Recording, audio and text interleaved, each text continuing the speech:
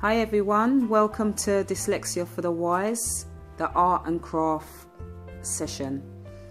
We're here with three young people and they're gonna try their best to create a um, board game that can help dyslexic children maybe read, um, maybe learn how to write a bit better, to use their memory a bit better. It could be anything really, but it's going to be a board game that dyslexic children can um, can play, and anyone can play, not just dyslexic children. But we are targeting dyslexic children, so they're going to have a limit limited time to create this board game. As you can see, this is all their stuff that they're going to be using. They've got sellotape, colouring pens.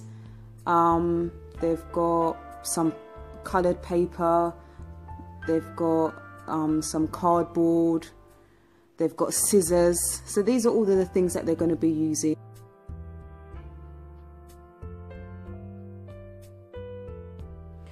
Okay guys, so what have you started? We have started to make a board game. We, we Okay. started making a board game about body parts. um, Okay. Based on dyslexic people. So we've done the orange bit about where the blade that is blocked. Is that bit here? Yeah. Okay, great. And then we've done the pink bit where the brain is brain is creative. Wonderful. So, what's going to happen after this? We're going to draw the rest of the head and the rest of the body. Wonderful. Okay, we'll come back to you guys soon.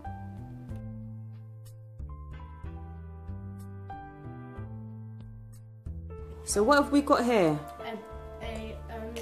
Board game with numbers and a a person. What what you do for the rules is that you roll it and see which number you land on, Yeah. and um, and you the the, the number what you land near to. So say if it was the um, say if it was the arm, you'd have to say I landed on like you'd have to make a sentence. Um, technically, what you would have to do, if you, when you land on a number, you pick a body part and call it, um, or a bone or a body part, and call it by its real name, and then after you have to describe about one of the sides of the brain at the top. Okay, but say you've got a child that doesn't understand that. So, for instance, if I got number, what's that? 16. So, say I got 1 6, which is 16. So, where would the body part be for there?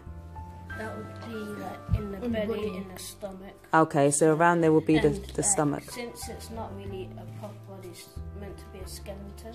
So Ah. like you'll do inside of it, like do the a bit inside it, like the organs or the liver or something like that. Okay, great. All right, explain to me about the rules. Um, the rule one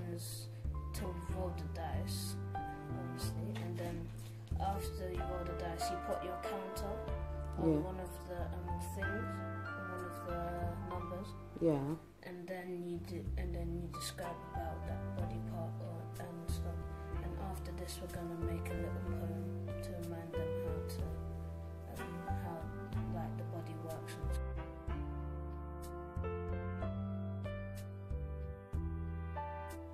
Okay, the board game has now completed, it's finished. So I need them just to explain how to play the game. So who wants to start? Okay, how do you play the game? You play the game by rolling the dice. Yeah. Then you put the counter on the number that you got. Okay, so let me let me do it. Then yours would go here. So And so after that, you um, since this is at the chest, you would do um, describe what the chest is. There's some cards on the side, okay, so you pick up a card Yeah. that says chest.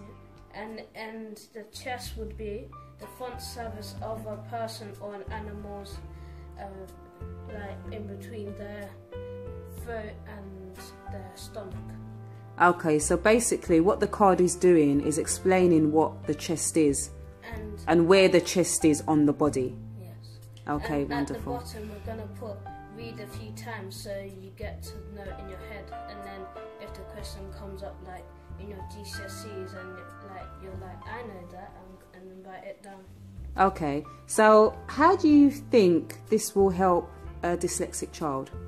Um, it'll make them remember it more, and especially with the poem, um, and like And what they would help by is with their body. So if they basically, if if they um if they get confused, which like and they forget what their body like their body parts, then they can like remember by playing the game with someone, maybe one of their normal friends or something. like that. Okay, so basically it's for children or dyslexic children to be to remember their words, how Yes. to spell, and to also learn about their body parts. Yes. yes, That's really good. How did you guys find doing it? It was really fun. We got to work as a team, and yeah, it was good. Okay, what about you? Huh? What about you? How was it for It you? was very, it was good. Thank you. Okay, and what about you? I thought it was really good, good, especially for me because I got dyslexia, and it helped me out with my um, dyslexia. Good. Do you think it will help other children? Yeah, a lot. And do you think this is a game that you would play? Yes, I would definitely play it, and I don't have the dyslexia, so it's a game for everyone. Wonderful. And the, and the song's good as well. Okay, thank you very much.